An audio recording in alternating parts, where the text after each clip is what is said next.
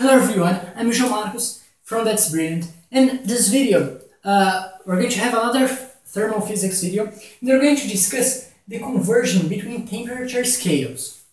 So uh, in, the, in the video about temperature and heat, uh, we started uh, discussing uh, what temperature is. So uh, just remembering, temperature is the measure of how fast the particles of an object are moving. And um, we, uh, want to measure, and when we measure, we want to assign a number to a, give, uh, to a given temperature. So um, for that, we created temperature scales. So we went to measure, and to measure, we assign a number. So we can, for example, compare two different temperatures using the numbers. But uh, there are different temperature scales. There is uh, a given temperature and different scales use different numbers to represent the same temperature. So here we're going to see how to convert between um, different scales. So we are going to see the conversion uh, between the three most common uh, temperature scales. But if you want to convert to another scale or even create your own scale, the, process of the conversion is the same uh, no matter which name you give to your scale. So um, you're going to see the conversion between Celsius, Fahrenheit, and Kelvin. So here, let's imagine we have kind of a thermometer to each of the of the scales.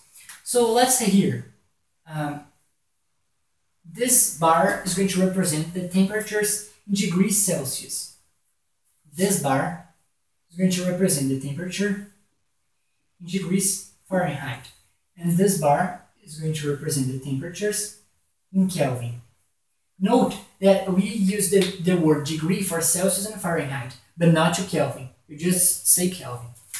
Um, and we're going to convert, uh, we're going to have an equation uh, which we can use to convert between the scales. So uh, what we're going to do is, um, well, this is very different here. Let me just, uh, let's imagine this is the same temperature for all the scales. Let's see. Let's say this is the same temperature for all the scales. Um, they are going to use, the three scales are going to use different numbers to represent the same temperature. But as I said, this is the same temperature. Uh, no matter which scale you are using, the, how, the velocity at which the, the particles are moving is the same. Well, what changes is the number which you assign to the temperature uh, and that depends on which scale you are using. So the number is going to be different, but the temperature is the same. The state is the same. So let's say that this temperature on the bottom is the temperature at which uh, ice melts. So uh, when people use the, the Celsius, the degree Celsius scale, they call this temperature the zero. And this is just that who created the scale wanted to call this zero. This is what the people, what the person wanted to do. We, we can't, we cannot change it. This is just what it is.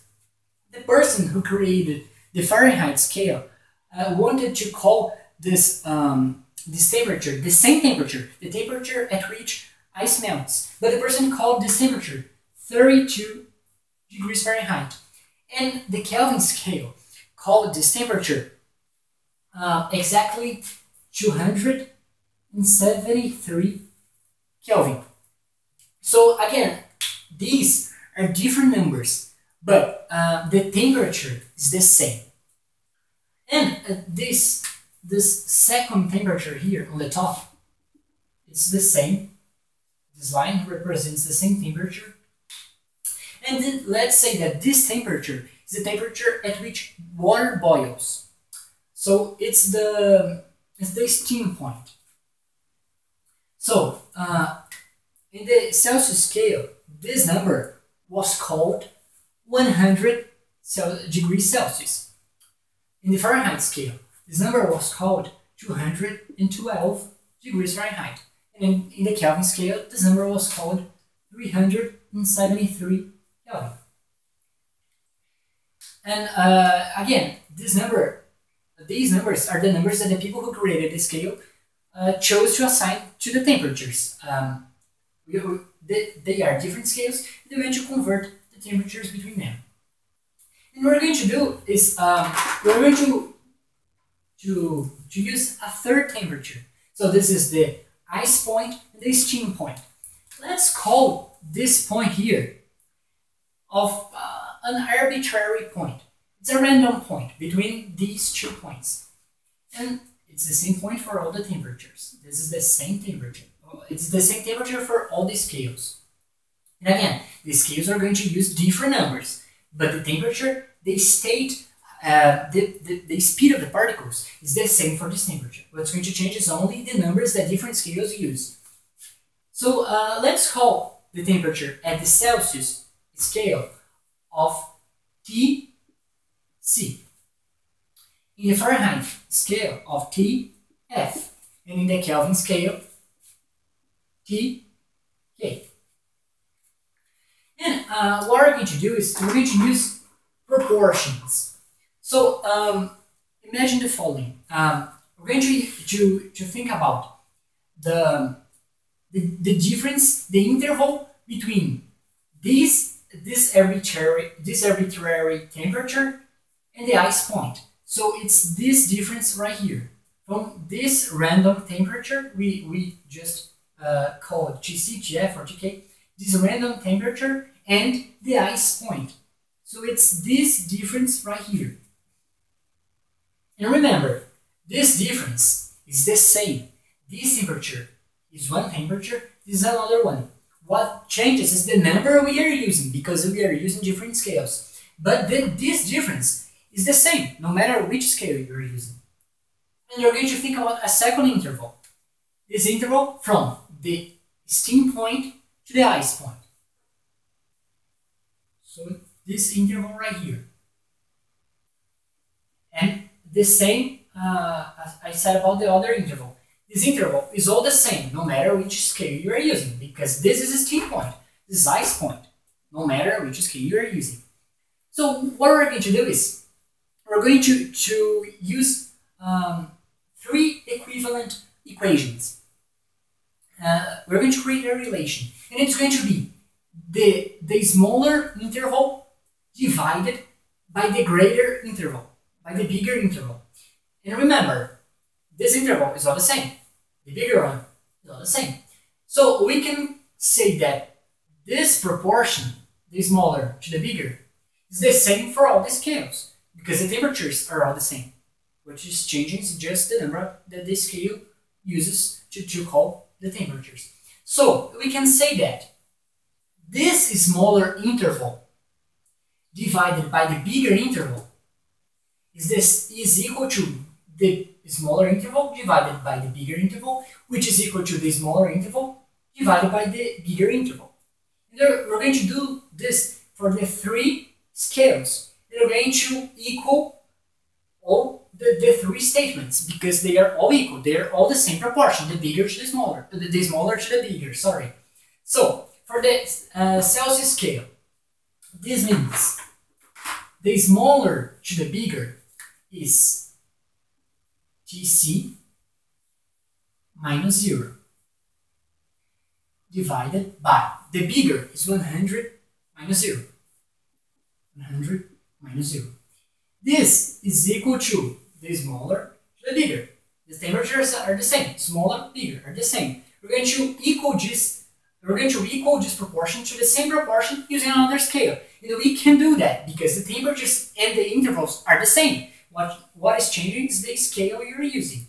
So TF minus 32, TF minus 32 is equal to 212 minus 32.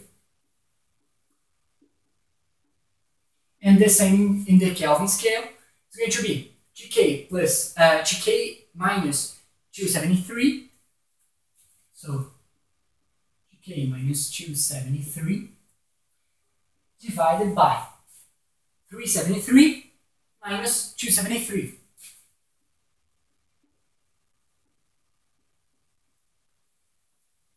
And this is a true statement because we are saying this proportion is equal to this proportion, which is equal to this proportion. They're all the same proportion. What's changing is just the scale, but the proportions are all the same, so they are all equal. So uh, just simplifying things, we have that Tc over 100 is equal to Tf minus 32 over uh, 212 minus 32 equals 180, which is equal to Tk minus 273 over, and here we have 100. And we can do uh, another thing. Let's uh, multiply all the three proportions, all the three fractions by 20. So uh, here's going to be Tc over uh, 5,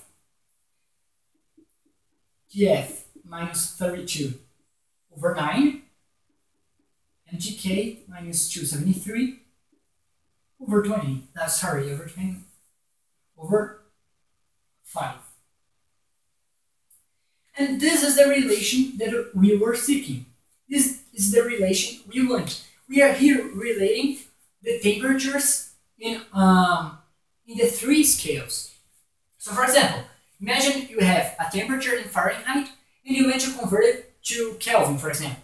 So you forget about the Celsius. You're just going to use Fahrenheit to Kelvin. You get your Fahrenheit temperature and uh, plug it into the TF. So you're going to have an equation with only the TK as a variable. You solve it for TK and you have the temperature converted to Kelvin. Uh, let's say you have uh, in Celsius you want to convert it to Fahrenheit. You have the TK, uh, this side of the equation, you have TC and TF you plug the, your temperature in Celsius into TF, you have an equation with only, uh, you plug, sorry, you plug the Celsius temperature in, into TC. You're going to have uh, an equation with only TF as a variable. Solve it for TF, and you have your temperature converted to Fahrenheit. So uh, the next video we're going to, to do some examples just to, to make this even more clear. Uh, but another thing I want to, to talk about in this video is that why do you use different scales? Uh, it's just more more work to do, right? We could also use only one scale. Uh, well, I know, but uh, this these scales were created by different people, and different regions of the world decide to use different scales. So you have to know how to convert, uh, because for example, uh, I live in Brazil. Here, the temperature is is um, primarily measured in Celsius. If you go to the US, they measure it in Fahrenheit. You need to, to know how to convert uh, in order to in order for you to understand um, temperature different people are talking about. And as I said, different regions of the world decide to use different scales. So uh, they are just adopted and they are now very uh, well established. So you cannot change this anymore. But if you stop to think, the three scales have uh, some properties that only they have, and only each one of them have. So for example, to think about the Celsius scale, one, one thing that the Celsius scale has is that the, the zero, the ice point has an exact number. It's exactly zero. And the steam point is 100 degrees Celsius. That's another exact number. And uh, this obviously at one atmosphere of altitude. But um, you can say that both the steam point and the ice point, they're exact numbers. And the interval between them is exactly 100. So uh, the Celsius scale uh, was defined. Think about the, the, the points of, of, of, the water, of uh, an example of water, of ice, um, of ice, water, and steam, of H2O. Okay. The, the Fahrenheit scale. It has a difference between these two because we, we can see the difference between the steam point and the ice point in both the Celsius and the, and the Kelvin scale are 100. 0 to 100 and 273 just 373. So this interval is the same, is uh, numerically the same for both scales, but not for the Fahrenheit. This interval for Fahrenheit uh, is a number of 180. So there are more numbers between the ice point and the steam point in the Fahrenheit scale. So uh, since there are more numbers, you can kind of be more precise when you measure because uh, we have um, larger intervals between two temperatures. So you can kind of be more precise when you measure. And the, the, the important thing about the Kelvin scale is that uh, is when you go to the zero Kelvin. This is um, kind of theoretical, It's uh, the temperature uh, called absolute zero. You may have heard of this already. Um, it's the temperature at which all the particles of, of the object that is at zero Kelvin, all the particles are stopped. As I said, the, the temperature is the measure of how fast the particles are moving. If an object is at zero degrees, all the particles are not moving; they are stopped. So the, all the movement is um, all the movement does not exist. So the, the temperature is literally zero. There is no speed of the particles. So this is called the absolute zero. And in the Kelvin scale, that temperature is really zero. In the other uh, scales, it's not zero. In the Kelvin scale, the absolute zero is the zero Kelvin.